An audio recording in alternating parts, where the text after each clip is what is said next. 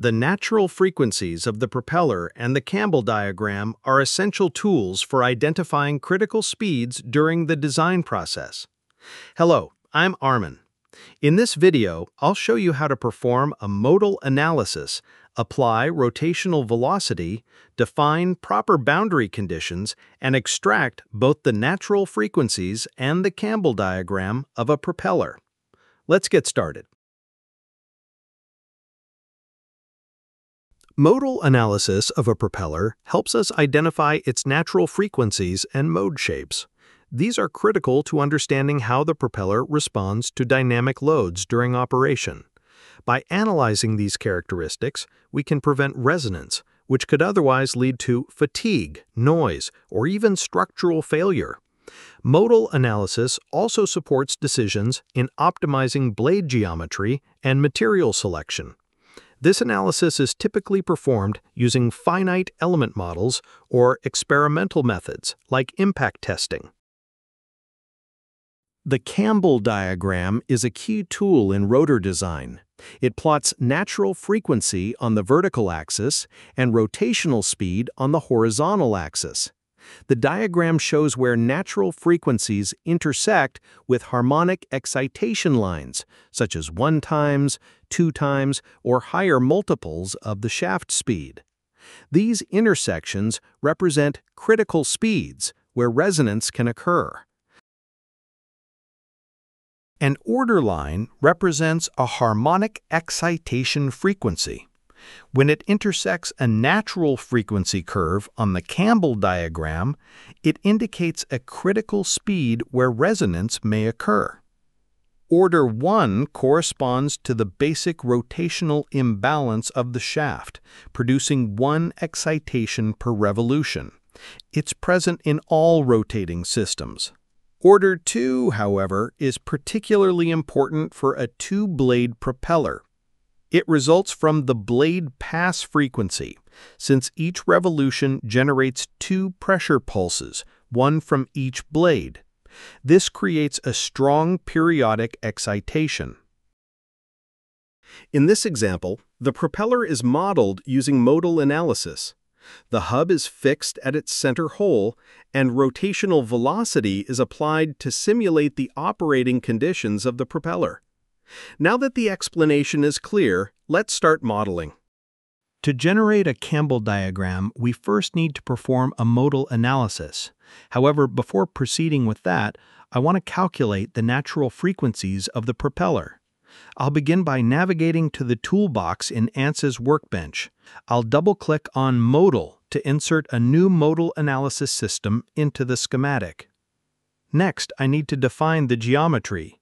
In the Geometry cell of the modal system, I'll right-click and go to Import Geometry, then Browse and select the propeller model from my local directory. Once the geometry is imported, ANSYS gives us the option to open it in different modeling environments. For this example, I'll left-click on SpaceClaim, which is the more commonly used geometry editor for pre-processing in modal analysis. Now the geometry window opens in SpaceClaim. Here we can inspect or modify the model, but since I don't need to make any changes, and because the analysis only requires fixing the hub for boundary conditions, I will close SpaceClaim and return to Workbench. Let's move on to the meshing process.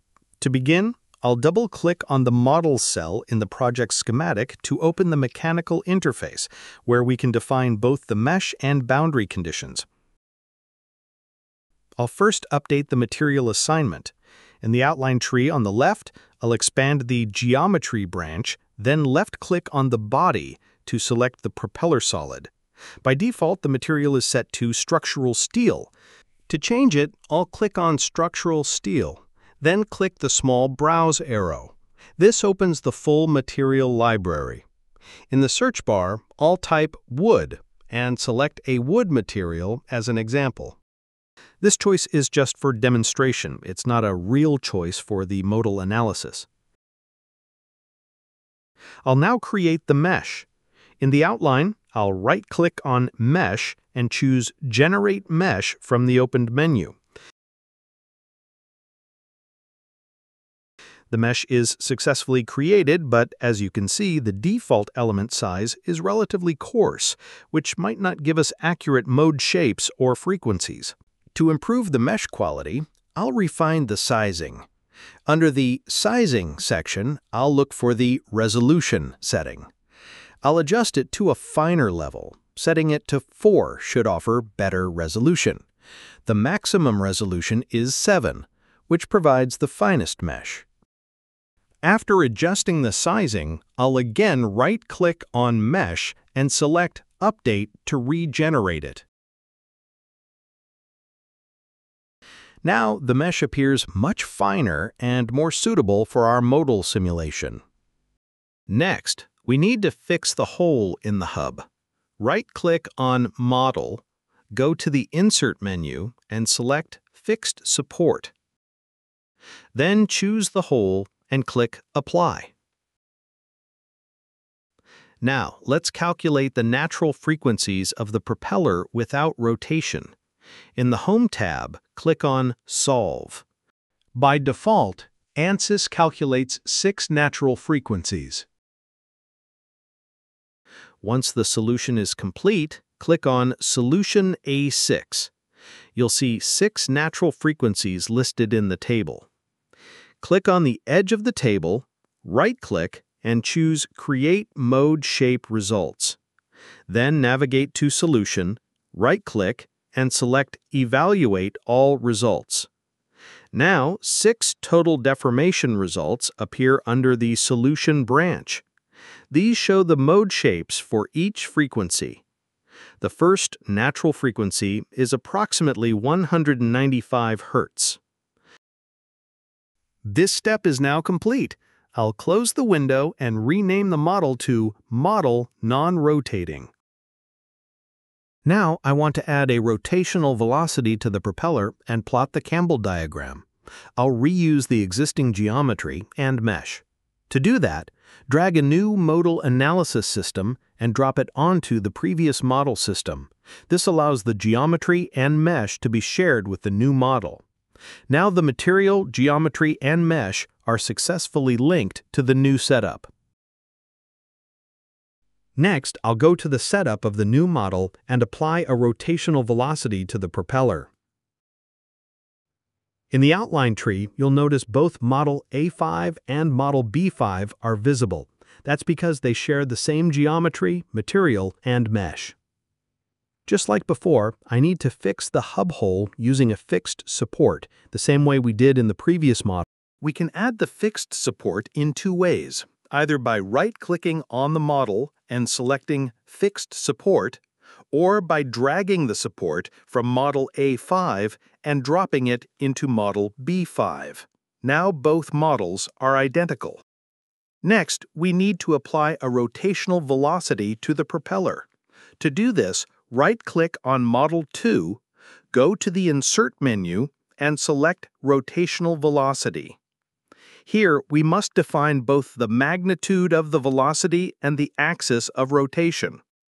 Before applying the velocity, I'll open the analysis settings and go to Rotor Dynamics Control to enable the Campbell diagram, and I'll also activate the Coriolis effect and enable damping.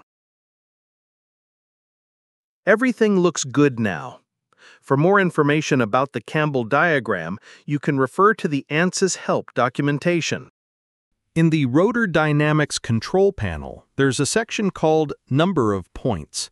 By default, it's set to 2, but we can increase it to evaluate the system at more rotational speeds. Here we need to define two rotational velocities, typically representing the idle speed and maximum speed of the propeller. These values are set in the tabular data under rotational velocity. For example, we can use 800 RPM for idle speed and 15,000 RPM for maximum speed. ANSYS will then calculate a total of 12 natural frequencies, 6 for each speed. Next, I'll select the axis of rotation by clicking on Axis, choosing the appropriate edge, and clicking Apply. Everything looks good. By default, the propeller is rotating clockwise. But how can we change the direction of rotation? Click on Axis, then reselect the edge of the hole. After that, use the arrow icons to switch the rotation direction, clockwise or counterclockwise. Let's switch it back to the original direction.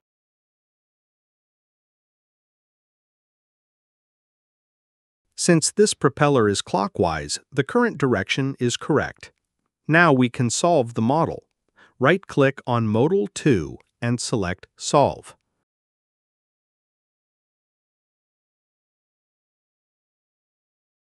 Once the solution is complete, I'll right-click on Solution B6 and choose Campbell Diagram. Then right-click again and select Evaluate All Results. This is the Campbell diagram. On the y-axis, we have the natural frequency, and on the x-axis, we have the rotational velocity. As you can see, we specified two rotational speeds, 800 RPM and 15,000 RPM. The lines in the diagram are almost horizontal, indicating that gyroscopic effects are minimal. The black diagonal line represents the line where the frequency equals the rotational speed. This is the order 1 line. We can also plot order 2, order 3, or even higher orders, depending on the analysis needs. As you can see, the order 1 black line intersects the mode 1 curve at two points. These intersection points indicate the critical speeds for order 1, which correspond to the shaft critical speeds. Since the propeller has two blades, we also need to plot order 2, or ratio 2, to analyze the blade pass frequency and its associated critical speeds. Order 2 represents the blade pass frequency of the propeller. As shown in the diagram, when we plot order 2, the critical speed decreases, indicating a potential resonance at a lower rotational speed. In this table, we can identify the whirl direction, either forward or backward, as well as the critical speeds which correspond to the first and second natural frequencies of the propeller. Now, what if we add a shaft to the propeller? In that case, the mode lines in the Campbell diagram become steeper, especially for the shaft-dominated modes due to the added gyroscopic and structural effects. That's the end of this tutorial. You've learned how to plot the Campbell diagram and how to draw order 1 for the shaft and order 2 for the propeller.